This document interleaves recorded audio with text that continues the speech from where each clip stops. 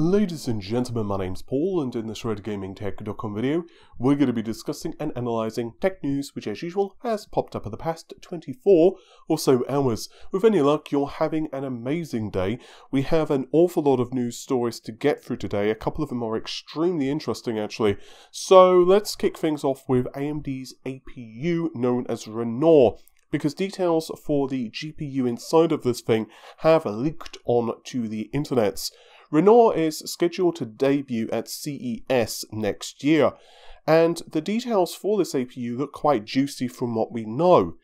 The GPU inside of it in particular is said to be pretty powerful, and it could put a lot of pressure on Nvidia uh, with their lower tier GeForce cards, especially if you're building a budget gaming rig.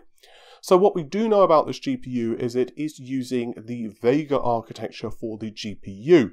And there have been rumors it will be Vega 10 based, but yeah, there hasn't been a lot of solid information, but what's been really interesting is that a leak today from Tum Apisak has actually not only provided further details concerning the number of shaders on the GPU, but also perhaps just as importantly, the clock frequency. So there's 512 shaders on this GPU, which is pretty impressive.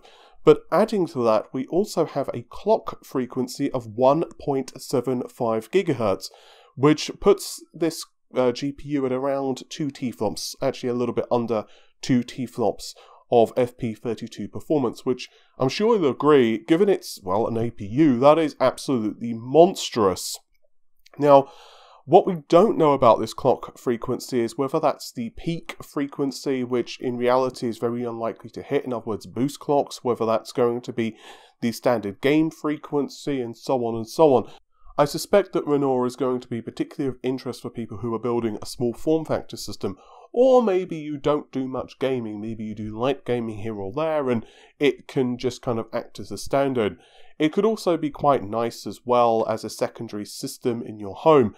And also for esports titles, this could be more than sufficient, like the Counter Strikes of the world don't exactly take a whole lot of uh, GPU grunt, Dota, and so on and so on.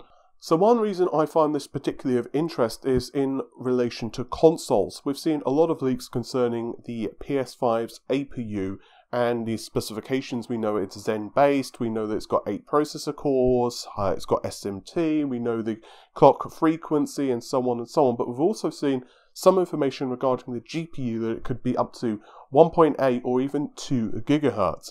And some people have been very suspicious regarding that clock frequency on what is essentially a custom APU. But if uh, AMD are able to achieve 1.75 gigahertz as peak for Renoir, then it does lend even more credibility to the PS5 leaks. So with the PS5's GPU, we've seen reports of 1.8 gigahertz, 2 gigahertz, if it's running in backwards compatibility mode for the original PS4, then it's going to be 800 megahertz and also disable additional compute units and so on and so on. And if it's running at 911 megahertz, that would be em emulating the GPU of the PS4 Pro. And now on to a couple of Intel pieces of news, one of which I find really interesting, and that concerns Rocket Lake. Yes, I am extremely intrigued of what the heck Rocket Lake is, but we may finally have an answer. So a couple of days ago, I detailed a supposed leak for Rocket Lake, and there were a couple of things which really raised my eyebrow. The first of which was that it supposedly had only 8 CPU cores, which was, well, contrary to what we'd heard so far with roadmaps. Up until that point, we'd seen that uh, Rocket Lake was 10 CPU cores, and it basically looked very similar to Comet Lake, albeit with a Gen 12 GPU. Well, now we may have further answers. So the individual who posted that rumor said that they actually had a couple of small typos and they've since updated it with further information. They claim that the AVX support was not supposed to have been 256, instead it was supposed to have been 512. They were essentially telling us that it's a backport on the 14nm process for, you guessed it, Willow Cove which would be the architecture after Sunny Cove. Now that would basically mean that Intel, if this information is accurate, and obviously it's not been confirmed by Intel, if this information is accurate, they are basically reducing the number of CPU cores but going for ridiculous amounts of single thread performance, which is a very interesting strategy. It would basically mean that for 2021, Intel believe that they can compete favorably with AMD, not necessarily in terms of the core count, but they can probably just brute force it by having 8 CPU cores, which would well, just do their best to keep up with whatever AMD are doing at the time. Now, we can presume at that point we're going to see Zen 3 at the very least that AMD are going to be competing uh, against Intel with, potentially even Zen 4. The problem is, while we do have some details concerning uh, Tiger Lake slash Willow Cove, they're very sketchy and it's very difficult to know what performance targets would be for Rocket Lake because it's like what clock frequency. Even if we knew IPC targets for the CPU, and even if we knew the number of uh, CPU cores was accurate, and so on and so on, given we don't have any clue what the clock frequency for this processor would be, it's very difficult to be like, well, this is the performance prediction. I don't think it's going to be sedate in terms of clock frequency. I suspect Intel's goal in the short term is to basically do anything they can to hold on to traditional mainstream desktop performance. So if you're running an application like Adobe Premiere, if you're doing gaming and that type of uh, stuff, yes, certainly more CPU cores are handy, particularly if you are doing something like streaming in the background, you want to do some other stuff and you're also running a game, then obviously more CPU cores equal good. Given the translation has been provided by the retired engineer and therefore we know it's 100% accurate what the translation is, obviously with machine translation it's, well, sketchy at best, it's going to be really interesting to see what Intel's plans are therefore for HEDT. At the moment they're getting, well, spanked by AMD, let's just be honest. There are some good things you could say about Cascade Lake, the fact that it is relatively decent in terms of pricing, although you can argue that it still needs to be a couple of hundred bucks cheaper ideally.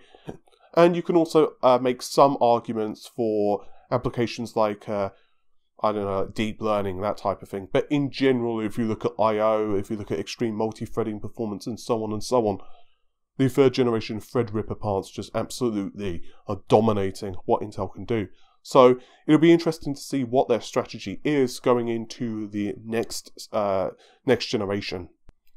Oh, and one last thing before I wrap up the Rocket Lake uh, information.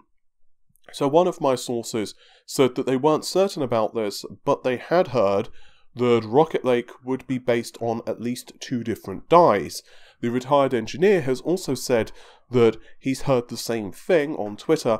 My source was very uncertain. They said that it was something they'd heard in passing. I had heard from another source that it was a backport from a future architecture, but I didn't hear anything about the multi uh, multi dies, excuse me, from that source. But another source had told me that they had definitely heard it was multiple dies on the chip, uh, the retired engineers is the same thing, so maybe we could potentially see that as well. I'm just throwing that in there, just kind of like an FYI. And now from one good piece of news from Intel to one that may not be so good, and it concerns Xe. As many of you are aware, Intel will be getting into the discrete GPU market with a series of GPUs launching next year. There's a lot of conflicting information what the performance targets are for these GPUs, but it's generally accepted that they're going to be maybe mid-range in terms of performance based upon what we've seen from the drivers. A couple of my sources have told me that Intel are targeting mid-range as well, but at the end of the day, we're not 100% certain. But there's been an interesting post that's been circulating on the internet, and it says that the GPUs, the Xe GPUs, are not doing as well as Intel had hoped the progress for the GPUs is behind schedule, but furthermore, we're also seeing the GPUs behind their competitors in terms of energy efficiency. Additionally, it was said that there will be no AIB models at launch, there will only be reference cards from Intel themselves. Now, depending on pricing, how good the coolers are, and so on and so on, that's not necessarily a killer. It's potentially possible, though, that AIB models could come later on. Supposedly, the drivers themselves are also lagging behind what Intel were hoping for. And according to this post, Ponte Vecchio HPC, which is high performance computing may not launch in 2021. Instead, it may launch in 2022. Just as a quick reminder, Intel have gone into some of the architectural details for Ponte Vecchio, which is the architecture which will be based on the 7nm process, and we can assume there are numerous enhancements over the architecture on the 10nm process. And we do know that they're going to be essentially targeting free markets, with gaming being a really big one, low low power computing, so that would be mobile, that type of thing, and also high performance computing, which would be for things like the data center. So if that is being delayed until 2022, that's definitely not a good thing. If I had to throw a few pennies into this, I'm honestly very uncertain what's going on with Intel's GPUs because I'm hearing really mixed things. A couple of my sources have told me that the GPUs are not going as well as Intel had hoped, but I've also heard from several sources that the GPUs are doing extremely well and are even on target, and I've even heard from one of them that the June launch is almost assured. There's also the probability that uh, it will depend upon the performance tier and what your expectations are. This is Intel's first time of releasing a dedicated discrete GPU, and I'm hearing one of the big problems, this is from what a couple of people have told me, is the 10nm process from Intel. So if you've been following along with the Intel GPU rumours, you'll likely be familiar with at least two of them. The first is that we would see two different architectures, with Arctic's Sound launching first, and then later on this would be followed up with Jupiter Sound. The second rumour is that these would be created on two different processors, 10nm and 7nm respectively. In layman's terms, this means that the GPUs created on the 7nm node will not just benefit from a more advanced node with the usual improvements in power efficiency, smaller uh, transistors, and blah blah blah blah blah, but would also be created using a more advanced architecture. So, in short, those GPUs would uh, benefit twice over. The problem is, though, that Raja Koduri and his team, when they were penciling out, when they were designing uh, the GPUs which launch next year on the 10nm process, did not foresee the problems with Intel's 10nm node. And obviously, the 10nm node has been a thorn in Intel's side for a number of years now for numerous products. And we've seen a lot of different architecture, a lot of different processors either scaled back or held back from their launch.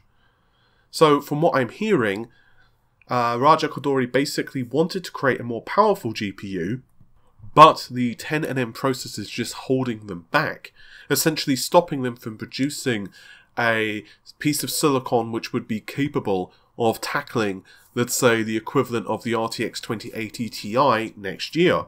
So does that mean that the 10nm GPUs which launch next year are doomed? Does that mean that Intel cannot compete at all? Well, no, they still have a pretty good shot at it, depending on the price to performance ratio. A lot of the stuff that's being discussed here can be ironed out, like drivers can come together at very much the last minute, and Intel does have a very talented uh, team of software developers at their disposal. Ultimately, it's going to be the price to performance ratio. I know I've said this ad nauseum on the channel, but while it's really tempting for people who have the budget to be able to cough up like a thousand bucks on a GPU to get really excited about that segment of the market, and believe me, I do as well, I'm a tech head. But realistically, a lot of people can't really justify spending several hundred US dollars on a graphics card. It's one of the reasons that cards such as the 1660 uh, are so popular from Nvidia, or even AMD's own RX uh, 580 is extremely popular right now, or the 570 was uh, at some really amazing prices over uh, Cyber Monday slash Black Friday. And obviously, a lot of gamers just want to spend a couple of hundred bucks, maybe 300 bucks. So, if Intel can compete with a GPU which is able to put out a really decent amount of performance at let's say 200 to 300 US dollars, I don't necessarily think that they're going to have a disaster on their hands. I think that they're going to be actually able to produce a pretty popular product. In fact, one of the persistent rumors I'm hearing, and I did mention this in a couple of videos before, Intel want to be extremely aggressive when it comes to the pricing of their GPU because basically they know that they need to get into the market, and one of the easy ways to compete in any market is to charge accordingly. But unfortunately, there is once again a lot of conflicting information. Personally, I'm hoping for the best uh, because I definitely want a third competitor in the discrete GPU market. At the very least, I'm hoping that the second generation of RDNA really puts a lot of pressure on NVIDIA. I think next year is going to be a very volatile mar- uh, time in the market, with ray tracing most likely going to be normalized in the next 12 to 18 months, with the next generation consoles basically supporting it as a standard feature. And we know that, well, I say no, we believe we know that NVIDIA are really going to be doubling down on ray tracing for the GeForce 30 series. We know that AMD are going to be supporting it with the next generation of GPUs as well. Although I'm hearing that uh, XE for the gaming side of things on the 10nm process is not going to support it, but it may for the 7nm process. So basically, I think next year is going to be a really interesting time in the market. I don't think Intel are going to be competing in the high end. Uh, I don't necessarily think being less efficient than their competitors is going to be like destroying their chances in the market. For me, it's going to be the price and performance ratio, I think, for a lot of people. But let me know your thoughts on this one. With all of that said, hopefully you've enjoyed the video. I'll